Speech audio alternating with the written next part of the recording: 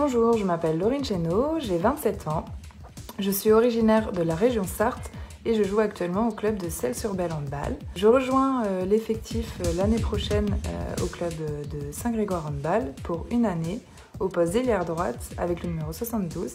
En tout cas, j'ai hâte d'être à la saison prochaine pour relever de nouveaux défis. À très vite